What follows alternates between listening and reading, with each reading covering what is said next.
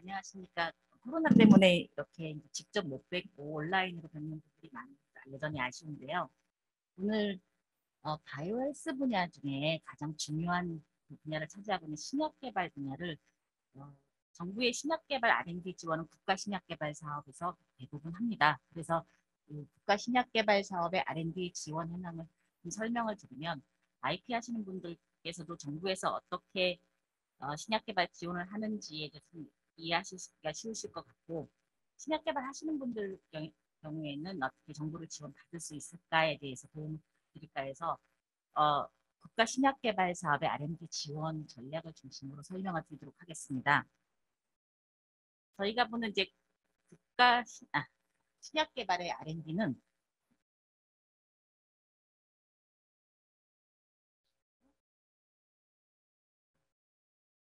신약 개발 R&D는 이전에 저희 대부분 합성의약품 만들어서 이거 시드 만들어서 GLP 톡스에서 IND 승인하는 것까지가 연구개발 과제의 대부분이었습니다. 이게 오래되지 않았습니다. 2000년대까지만 해도 2010년 이전까지만 해도 모든 대부분의 과제의 목표를 보시면 정부 과제의 목표를 보시면 IND 제출이 목표였습니다. 그러다가 지, 난 10년 동안 바이오 업계는 굉장히 많은 발전이 있어 왔습니다. 이 바이오 업계에서는 biologics가 나오고 그다음에 연구 개발 역량들이 좀 더 많이 발전되면서 이제 우리나라 임상을 아주 굉장히 자유롭게 합니다. 더구나 글로벌 임상도 하기 때문에 그 지금 어, R&D 프로젝트의 목표는 human POC 임상 2A 완료하는 게 대부분의 과제의 목표가 되고 있습니다. 그래서 예전에는 아, 뭐 new target이라든가 early stage의 과제를 가지고 기술 이전을 하는 게 그 적은 규모의 기술 이전을 하는 게 일반적인 경, 결과였습니다. 근데 최근에 이제 임상을 많이 하면서 이와 같이 약물 단계에서 임상 결과를 가지고 대규모의 라이선싱 아웃하는 게 최근 5년 동안 많이 벌어진 일입니다. 앞으로는 저희가 보는 그 신약 개발 분야는 앞으로는 그 규제 과학에 근거해서 이 신약 개발 전략이 이루어질 거라고 보고 있습니다. 신약은 허가를 받아야 되는 제품입니다. 그래서 허가 요건이 뭐냐에 따라서 임상계획의 전략이 나올 수가 있고요. 이거에 따라서 임상계획의 전략에 맞춰서 비임상계획 전략을 짜야 가장 효율적입니다. 그래서 비임상계획의 전략에 맞는 기초 연구들을 하게 되고 이게 가장 아이디어한 프로세스인데 실제 시작하는 시점들은 다 다릅니다. 기초 연구부터 시작하기도 하고 어, 이미 승인된 약을 가지고 시작하기도 하고 많이 다르지만 신약 개발 전체 프로세스에서 봤을 때 이 부분들이 굉장히 중요하고 그다음에 제품입니다. 신약, 신약은 결국 제품이기 때문에 이게 시장에서 어떻게 차지할까를 기준을 가지고 이 어, 제품 개발의 전략을 짜게 됩니다. 보통 이제 신약 개발 모델리티도 저희 많이 바뀌고 있는 걸 보게 되는데요. 우리나라 특히 우리나라 같은 경우는 어, 2010년 이전까지는 바이오 의약품이 식약처에 IND 승인 받은 사례가 없었습니다. 그래서 합성의약품 중심으로 되어 있고 지금 사실 임상 2상, 3상 하고 있는 많은 그 파이프라인들이 대부분 합성의약품입니다. 근데 얼리 스테이지로 갈수록 이제 바이오 약품들이 많이 하게 하고 있고요. 지금 최근 10년 동안 이제 바이오계가 많이 발전하면서 신약 개발 분야도 이제 항체의약품은 아주 루틴하게 합니다. 근데 바이오 벤처도 항체의약품 한다고들 많이 뛰어들고 있습니다. 그리고 뭐 면역 항암제라든가 ADC라든가 카티라든가 바이타민들이 굉장히 많아졌습니다. 우리나라 기초연구과제 굉장히 많고 임상과제도 카티도 임상에 이미 진입을 했고요. 어, 해외에서야 승인받은 사례도 있지만 우리나라에서도 많이 따라잡고 있는 상황입니다. 앞으로는 이 물질 종류는 더 다양해질 것이라고 보고 있습니다. 예전엔 protein 단위에서 어떤 blocking을 해서 치료제를 만들었다면 이제 유전자 단위까지 접근해서 좀 더 근본적인 치료를 하려고 하기 때문에 유전자 세포 치료제는 앞으로 지금 파이프라인이 엄청나게 그 증가하고 있는 분야입니다. 그러니까 여기뿐만 아니라 지금 아직 그 식약처에서도 어떻게 해야 될지 잘 모르고 있는 exosome이라든가 microbiome이라든가 이런 부분들의 다양한 형태의 그 물, 물질들이 약으로 개발되어 가고 있습니다. 또 비디면에서도 이제 약물들 개발할 때 예전에 우리는 이런 기술을 가지고 있어요. 컨퍼런스에서 그냥 발표하는 거 우리 거 보고 누가 사가길 바라고 이랬다면 지난 10년 동안은 이거 파트너링도 이제 잘합니다. 파트너 잘하고 그 JP 모건 가면 이제 한국 사람들이 제일 많이 볼, 건, 볼 겁니다. 근데 앞으로는 이제 우리나라도 이제 굉장히 영향이 커졌기 때문에 해외에서 우리나라 기업이나 연구자들을 파트너로 생각하는 경향들이 좀 생겼습니다. 그래서 이 부분이 좀 더 육성이 되면 어떤 이너서클에 있어서 그 각자 비디면에서도 사실 같이 너 뭐하니 뭐하니 해서 바로 연결이 되면 같이 콜라보레이션도 잘 되고 쉽게 라이센싱하고도 됩니다. 근데 이런 정도까지 그 저희가 성장할 것으로 보고 기대하고 있고 여기에 맞춰서 이제 국가 신약 개발 사업도 지원을 하고 있습니다. 제가 이제 오늘 그 전체 주제가 IP였기 때문에 신약 개발에 있어서 IP는 당연한 겁니다. 왜냐하면 시장에 나오는 제품을 만들다 보니까 이 신약이란 보이지 않는 어, 연구 기술을 특정할 수 있는 게 사실 IP입니다. 근데 신약 개발을 전체적으로 봤을 때 제가 보는 이 IP에서 중요한 부분은 특허를 받을 수 있는가와 그 다음에 특허를 나중에 제품화 되었을 때 자유 실시할 수 있는가 가장 중요합니다. 그리고 나중 확보할 수 있는 특허 기간이 얼마인가. 근데 신약 개발 보통 뭐 15년, 10년, 15년 이렇게 얘기를 합니다. 근데 짧아도 10년, 뭐 그 적어도 15년은 걸린다고 말하는데 제가 예전에 2011년도에 어, SK 바이오팜 세노바메이트가 임, 글로벌 임상 2A를 하고 있었습니다. 2019년도에 승인을 받아 시판을 했습니다. 2A까지 올라가기에 그동안 또 한 10년 하셨습니다. 여기 그 시행착오 별로 안 겪은 파이프라인임에도 불구하고 이렇게 많은 시간이 걸립니다. 근데 특허 출원기가 다 아시는 것처럼 20년밖에 안 돼. 출원해서 그 특허권 보유할 수 있는 기간이 20년밖에 안 되다 보니까 이 언제 그 filing 하느냐에게도 굉장히 어, 중요한 포인트가 됩니다. 그리고 이제 네, patentability나 이제 FTO 이게 사실 그 약물의 modality에 따라서 많이 좀 달라집니다.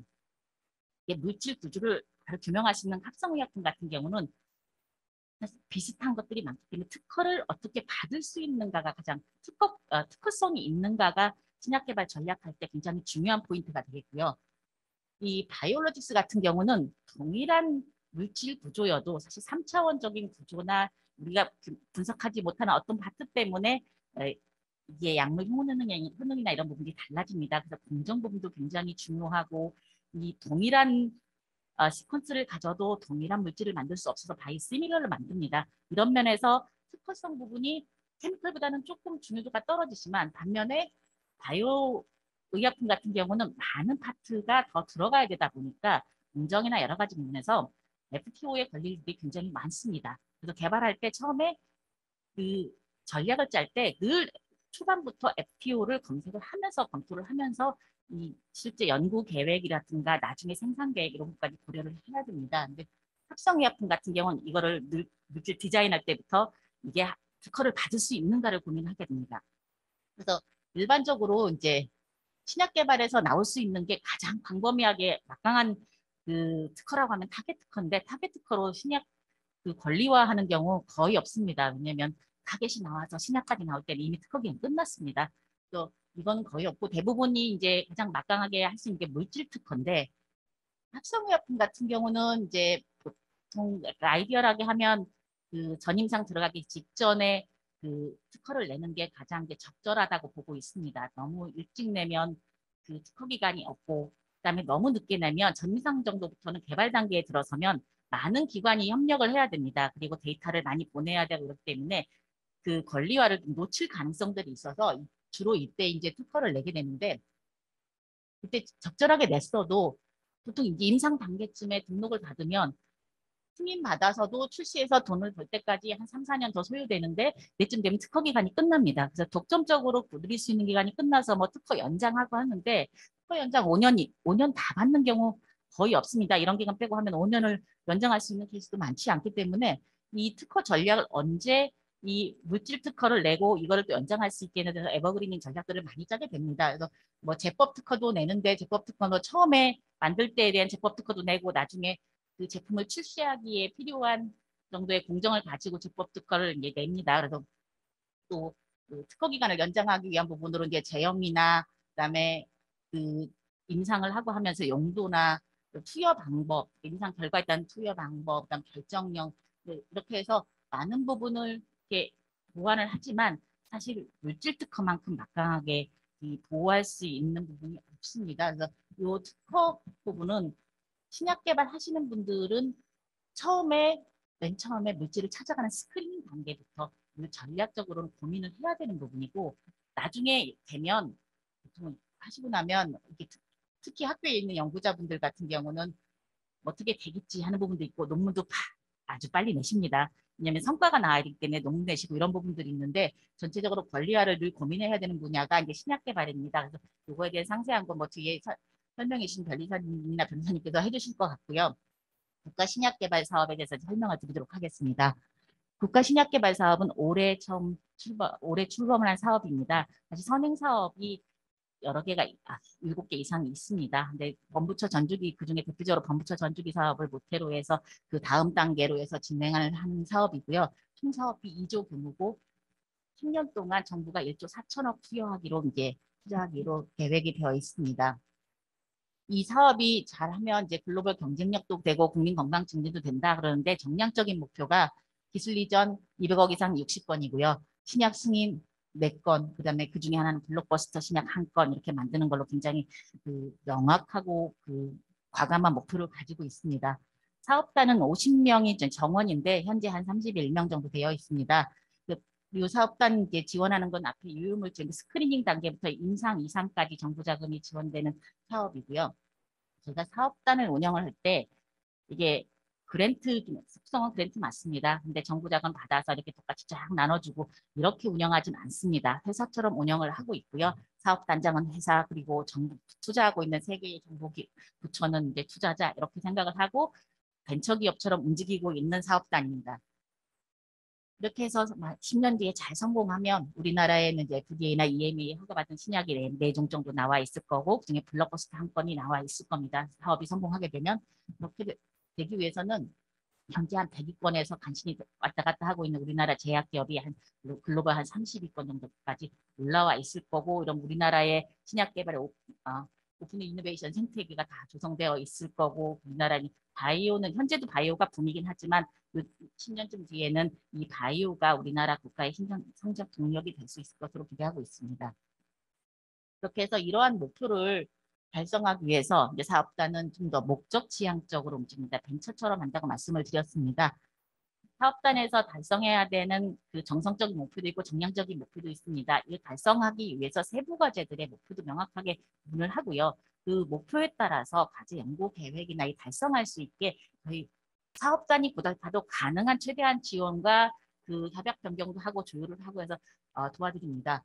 그리고 개방과 협력을 모토로 하고 있는데 신약 개발은 어, 종합 예술이라고 합니다. 한 파트가 그 한 사람이 아주 똑똑한 천재가 이루어낼 수 있는 분야가 아니, 아닙니다. 여러 전문가들이 모여야 되는 거기 때문에 각각 여러 기관과 전문가 각각에서 이제 많이 그 협력을 할 수 있도록 하는 부분에 대해서 적극 장려를 하고 있습니다. 과제 지원하는 부분이나 아니면 실제 저희 사업단에서 별도로 지원하는 부분 이런, 이런 부분에 대해서 그 오픈 이노베이션이 활성화될 수 있도록 많은 지원을 하고 있고요. R&D 지원 어, 그냥 연구비만 나눠주고 잘 썼는가 가- 그 평가하고 감독하고 이렇지 않습니다. 필요한 부분을 어떻게든 도와드리려고 그 사업당 구성이나 이, 이 연구 계획에 대해서 많이 신경을 쓰고 있습니다.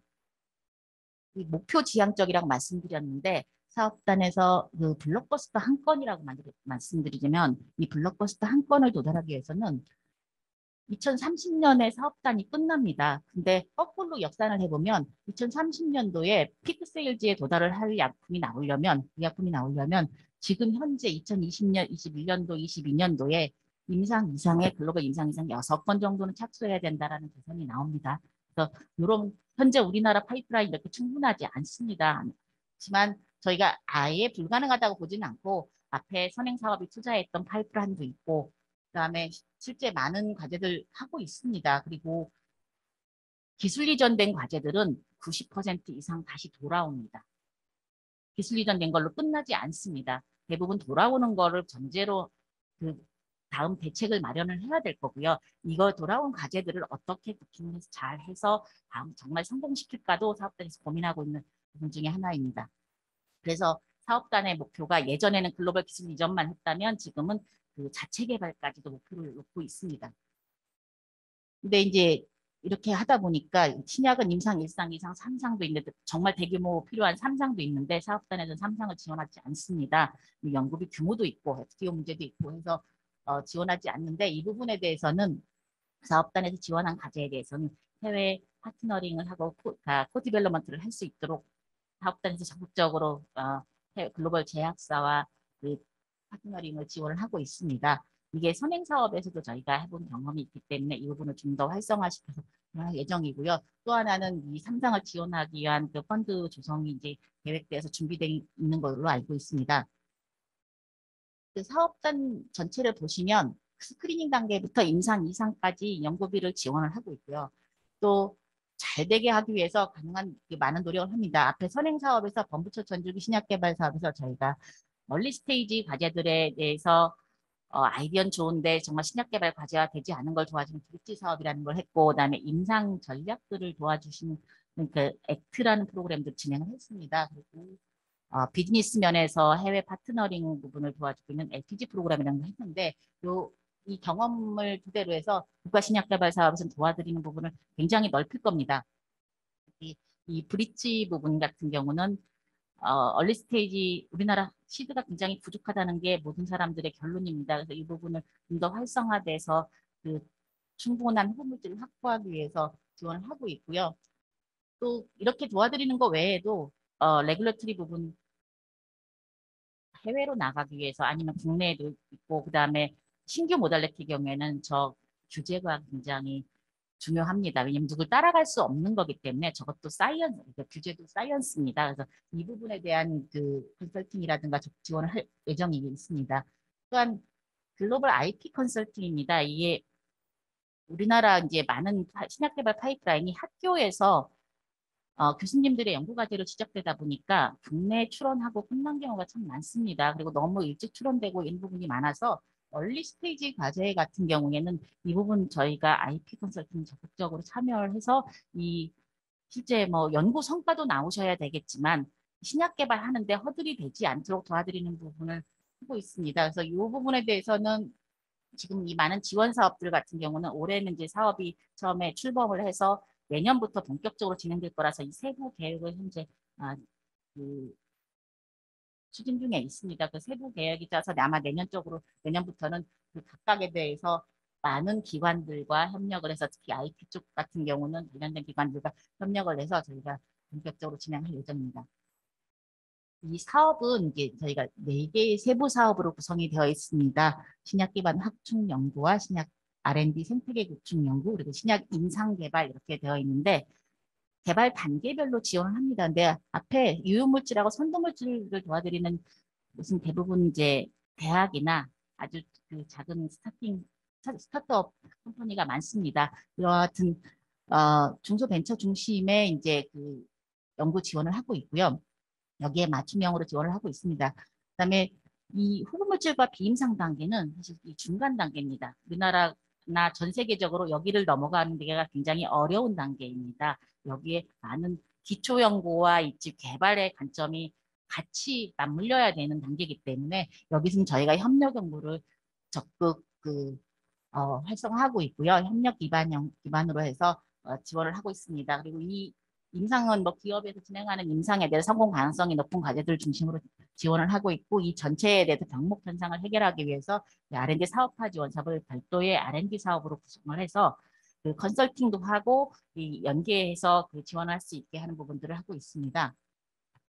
행정평가는 저희 사업단의 모토가 그 관리가 아닙니다. 지원이기 때문에 신약 개발 하시는 분들이 언제든지 필요한 시기에 언제든지 지원을 받고자 해서 연사회를 기획을 했습니다. 근데 저희가 엊그저께 결국 결론을 사회를 하는 거는 정부 예산 정책과 안 맞아서 3회로 좀 줄이기로 했습니다. 하반기 마지막 겨울에는 뽑지 못할 가능성이 좀 높아졌는데 그래도 저희가 적어도 3회는 해서 그 가능한 많은 기회를 들여서 이 연차에 맞춰서 그 정부 과제 따로 형식 따로 그다음에 실제 개발하는 거 따로 이렇게 하지 않고 실제 필요한 시기에 필요한 금액을 지원할 수 있게 하고 있고요. 평가 단계는 좀 많은데요. 어, 실제 평가하는 것만 해도 서면 평가, 발표 평가, 실사 평가, 그다음 투자 심의까지 거쳐서 평가를 합니다. 그래서 원리 스테이지 과제는 사실 그 실사 평가나 저희 투자 심의 부분을 강화하지는 않고 있습니다. 거치기는 하지만 가능한 많은 과제들에서 기회를 드리고 있고 이 다음 후보물질 이후에 이제 개발 단계에 근접한 과제일수록 실사를 해서 그 각각의 데이터를 많이 검증을 합니다. 검증하고 투자심의에서 종합적으로 판단을 하는데 왜 이렇게 되느냐면 전, 전임상이 들어가면 신약 개발 과제 같은 경우 물질을 바꿀 수가 없습니다. 이제 가지고 있는 속성을 바뀌지 않은 상태에서 전략만 바꿔서 가는 거기 때문에 여기에 맞춰서 뭐 특허 전략도 짜게 되고 임상 전략도 짜고 비임상 전략도 짜지만 이 물질이 고유하게 가지고 있는 물질이 정말 가능성이 있는가를 판단해야 되기 때문에 실사에서 많은 데이터를 보고 그다음에 여기 가지고 있는 면에 대해서 이 물질의 뭐 유효성이라든가 안전성이라든가 이런 부분도 보겠지만 이 권리화가 어떻게 되어 있는가 이 부분까지 다 고려를 해서 과제를, 과제를 심의해서 어, 지원을 하고 있습니다. 그렇지만 사업이 이제 전체적으로 큽니다. 크고 굉장히 많은 과제에 지원을 하고 있기 때문에 제가 보기에는 한, 아, 한 2, 3년 정도 되면 우리나라의 웬만한 기업은 다 지원을 받을 수 있을 거라고 보고 있습니다. 또 이렇게 하기 위해서 사업단이 중점 추진하고 있는 전략이 지금 현재 여섯 가지입니다. 첫 번째는 우수 후보 물질이 현재 굉장히 부족합니다. 이 부족한 거를 어떻게 메꿀까에 대한 고민인데요. 어느 조사를 봐도 다 후보 물질에 대한 파이프라인이 부족하다고 나옵니다. 우리나라 가지고 있는 부분이. 근데 아카데미에서 많은 아이디어들이 있고 연구 결과들을 가진 게 있습니다. 근데 이 부분들이 신약 개발 과제와는 갭이 좀 많습니다. 어떻게 평가를 해야 되고 어떤 기준으로 물질을 골라내야 되고 이 부분들의 개념이 좀 많이 다르십니다. 하나 뭐 약,품만 나오면 이거 흑물질에서 바로 임상 가셔야 된다는 게 그 연구자들의 관점이다 보니까 이 정확한 기준으로 아주 일관성 있는 기준으로 평가를 해서 물질을 골라내고 하는 이런 관점에 대해서 좀 더 그 가이드가 필요해서 이 부분에 대한 육성을 해서 해외 회사에서 원하는 신약 개발 프로젝트와 하는 일들을 좀 진행하게 될 거고 early stage 과제는 리스크가 크고 앞에 성공 가능성 작아도 신규 modality에 대해서는 집중 지원할 겁니다. 신규 modality 또한 뭐 신규 타겟 이런 거 집중 지원하게 될 거고요. 파이프라인이 모자라면 해외 것도 들여올 수 있도록 해외 파이프라인도 기초 과제들 열심히 찾아서 국내에 소개시켜주는 일을 하고 있습니다. 또한 얼리 스테이지 과제에 이런 물질을 발굴하기 위해서 저희 평가 그 기준이 사실 다른 정부 과제와 다르게 물질 중심의 평가를 합니다. 얼리 스테이지는 제품의 그 가치를 많이 판단을 하는데 아예 선도 물질, 유효물질, 선도 물질 단계의 경우에는 연구 계획의 우수성이 100점이 70%이고 아예 평가 지표를 바꿔서 그 아이디어가 우수한 과제에 먼저 지원을 해서 많은 시들을 찾아내고자 하는 노력을 드리고 있습니다. 또 오픈 이노베이션 생태계 구축이 이 사업의 중요한 목표 중에 하나여서 이 각각의 협력할 수 있는 프로그램들을 많이 만들고 있습니다. 첫째, 사업을 진행을 할때 후보물질 기임상 단계는 협력 기반형 트랙을 별도로 구성을 합니다. 여기는 협력된 그, 그 파트너가 있는 과제만 지원을 하고 있습니다. 그리고 또 글로벌 신약이어야 됩니다. 신약은 사실 투자비가 많기 때문에 국내를 목표로 하는 신약은 사실 수직 가산이 안 맞습니다. 그래서 해외로 나갈 수 있는 방안이 필요하고 이렇게 해외로 나가기 위해서는 제품이기 때문에 마케팅도 필요합니다. 그래서 해외 시장을 접근할 수 있는 기반과 글로벌 신이 필요해서 연구를 같이 할 수 있는 아예 연구 단계부터 같이 할 수 있는 조인트 R&D 프로그램이라든가 아니면 그 공동 개발을 할수 있는 저희가 프로그램들도 개발하고 있고 해외 그 많은 네트워킹을 할 수 있게 그 도와드리고 있습니다. 그리고 국내 그 연구자들끼리 각 파트에 임상에는 임상가 있고 그다음에 기초 연구하시는 분, 만드시는 분, 평가하시는 분, 바이올로지 하시는 분, 각각 파트들이 있는데 이분들이 가능하면 많은 만날 수 있도록 하는 일들을 하고 있고 뭐 대표적으로 이제 R&D 워크숍을 했는데 R&D 워크숍은 사업단에서 진행하고 있는 과제를 수행하는 기관들과 평가위원들이 모이는 자리입니다. 그래서 이와 같은 일들을 진행을 하고 있고요. 우리나라의 신약 개발 인프라 생각보다 굉장히 많습니다. 국가에서 지원하고 있는 게 많아서 이 기관들 그 적극적으로 활용을 해서 지원할 겁니다. 근데 강제하는 것은 아닙니다. 아까 이 부분이 도움이 될 수 있는 기관한테 소개를 해서 연계할 수 있게 도와드릴 거고요. 이 그 신약 개발에 있어서 죽음의 계곡은 많이 들어보셨을 건데 저희가 죽음의 계곡을 두 단계로 좀 구분을 하고 있습니다. 왜냐면 보통 이제 후보물질에서 그 임상까지 진입하는 데를 이제 데스밸리라고 말씀 말들을 많이 하는데 보면은 학교에서 접하는 그 당면하는 부분은 이게 히트나 리드를 만들어서 정말 후보물질화하는 데까지 좀 어렵습니다. 말씀한 대로 이렇게 물질을 잘 골라내는 기준이라든가 그 다음에 어떻게 평가를 한가 평가를 어떤 방식으로 해야 되는지를 가장 첫 번째 모르시고요. 그 다음에 TPP입니다. target product profile이에요. 어떤 물질을 만들려고 이 그 프로젝트를 그 전략을 짜야 되는 것 자체를 모르십니다. 그거는 모르는 게 너무 당연하신데 이 부분에 대해서 이제 개념을 가지고 신약 개발을 해야 되기 때문에 이런 부분을 도와드리는 할 거고요.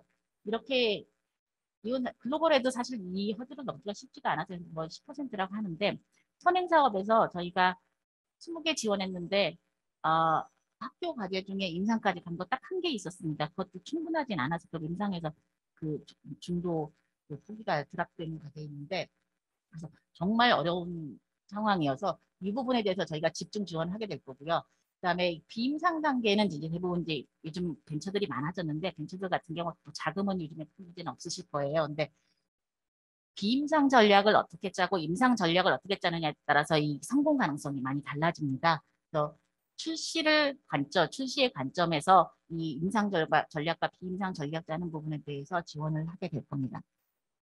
말씀드린 것처럼 글로벌 신약은 사실 세계 무대에 있어야 됩니다. 그래서 해외로 가는 부분에 대해서 어렵지 않게 하기 위해서 해외 글로벌 제약사와 같이 공동연구, 글로벌 제약사의 어떤 관심사를 가진 프로젝트와 프로젝트를 가지고 국내에서 같이 개발하는 일도 시도를 했습니다. 그래서 이와 같이 공동 연구를 하거나 그다음에 해외 물질을 들여오는 C&D 그리고 공동 개발을 할 수 있는 해외 임상 3상하는 거 자체적으로 하는 거 굉장히 좀 쉽지 않습니다. SK 바이오팜 자체적으로 했지만 우리도 미국 시장을 했고요.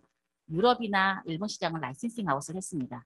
네, 이와 같이 해외 파트너가 필요한 상황이기 때문에 해외 파트너를 잡는 일에 적극 도와드릴 거고 그다음에 레귤레토리 부분도 아, 지원이 될 겁니다.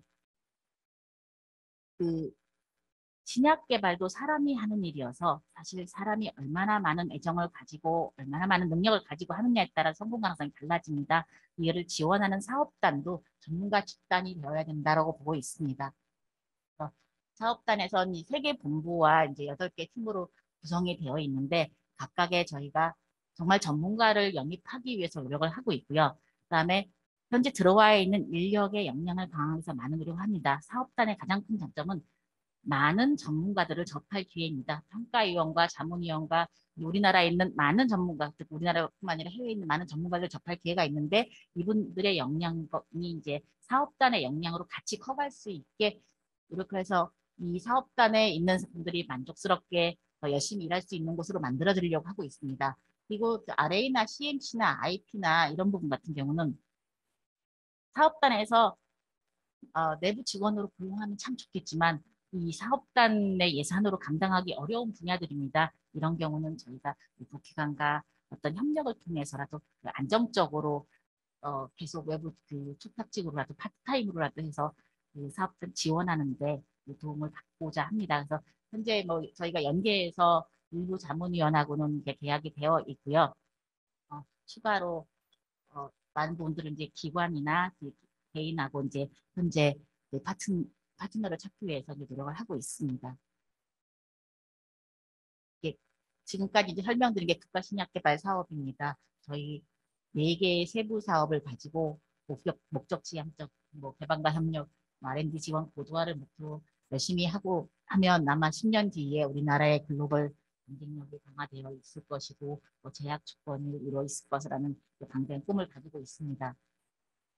국가신약개발 사업에 대한 정보는 이 국가신약개발 사업단은 국가신약개발재단 안에 있습니다. 국가신약개발재단의 국가신약개발 사업단과 코로나 치료제 백신 신약개발 사업단 두 개의 사업단이 복수의 사업단으로 구성이 되어 있습니다. 그래서 국가신약개발재단 홈페이지에 보시면 국가신약개발 사업단에 관련된 사업에 관련된 내용들이 있습니다. 여기서 저희가 공부라든가 필요하신 정보, 뭐 지금 현재 저희 과제를 일, 지난 21년 동안 저희가 두 번 공모를 해서 선정 평가를 해봤을 때 가장 이슈가 됐던 부분은 지원하시는 분들이 신약개발 단계에 대한 이해가 좀 다, 어, 다르십니다. 그래서 적절하지 못한 단계로 지원하셔서 떨어진 과제들 좀 꽤 많으셔서 이 단계에서는 어떤 요건이 필요하고 그다음에 그 개발 단계를 할 때는 어떤 어떤 실험을 해야 되고 하는 부분에 대해서 저희가 좀 더 많은 좀 자료를 좀 정리를 해서 홈페이지에 업로드할 예정입니다. 그래서 이런 정보들 같은 경우는 홈페이지를 참조해 주시면 감사하겠습니다.